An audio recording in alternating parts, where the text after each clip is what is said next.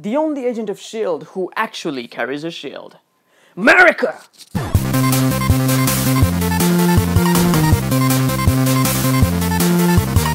Hello and welcome to my second review. This is my completely spoiler-free review of Captain America the Winter Soldier.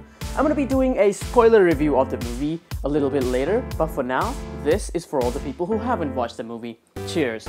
Captain America the Winter Soldier is the sequel to Captain America the First Avenger and the second to last movie of Phase 2 of the Marvel Cinematic Universe. The movie stars Chris Evans as Marvel's best casting decision to date, Scarlett Johansson as the Black Widow, Anthony Mackie as fan favorite the Falcon, Samuel L. Jackson as angry Samuel L. Jackson with an eye patch, Robert Redford as a character known as Alexander Pierce, and your Aunt Robin as Agent Maria Hill. This movie is the best movie that Marvel has ever, ever, ever made. And that is all you need to know. Review over. The end. Bye.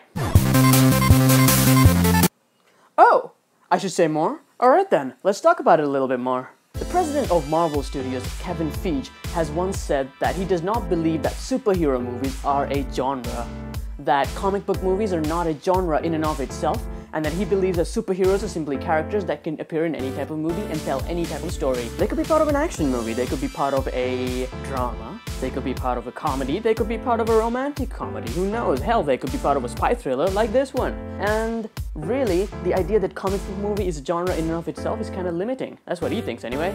And no movie embodies this particular philosophy better than this one. This movie is a straight up balls to the wall political spy thriller. The basic premise of the movie is that after the events of the Avengers, Cap is now working with S.H.I.E.L.D. and he has trouble dealing with the fact that safeguarding a country and her people these days is a lot messier and a lot dirtier of a business than it used to be. With secrets all around and fear being used as a motivation for countries and people to act morally, he finds himself at odds with the whole system. It is a very good idea and it is an idea that I've been waiting for Marvel Comics to explore, specifically using Cap ever since the Edward Snowden thing happened. The world has changed a lot since the good old days of the 1940s in a lot of terrifying ways and there is no one who is better to comment on that than Captain America. Things are made more complicated by the involvement of the Winter Soldier, a mysterious and almost legendary assassin who has been active and involved in deaths of significant figures throughout key points of history for over 50 years.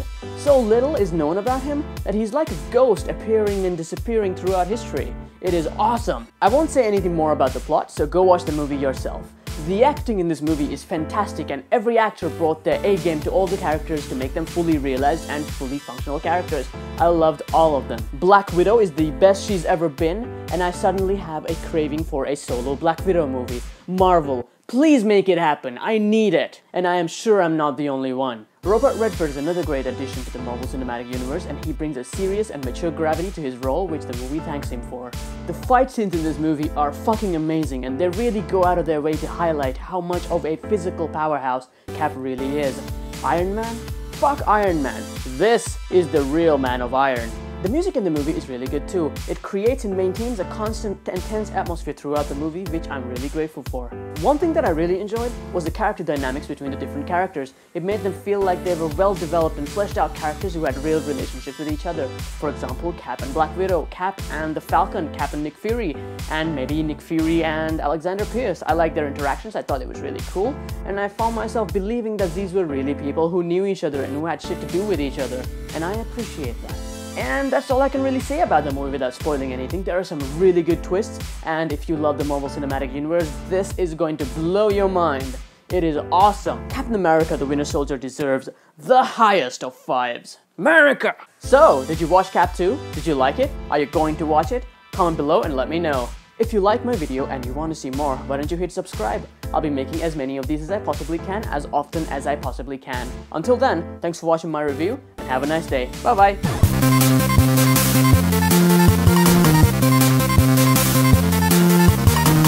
A review of a Marvel movie, so of course there's gonna be a post-credit scene, come on. Alright guys, let's get real here. This part is not gonna be about a review, it's gonna be about me, and it's gonna be about you. I want to thank you all for the very positive response that you gave to my first kind of shitty video. I know that it wasn't perfect, I know there were a lot of mistakes, I know the background was terrible, I knew I could have used some background music, I know that I, I should get rid of this fucking thing.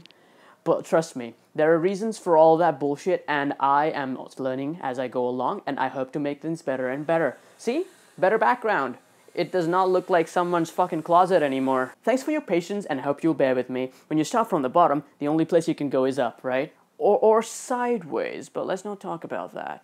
I hope to get better as time goes on, and I hope you guys will stick around to find out. Thank you so much for your positive response. I'll aim to please. Have a good day, you awesome, awesome people. See ya.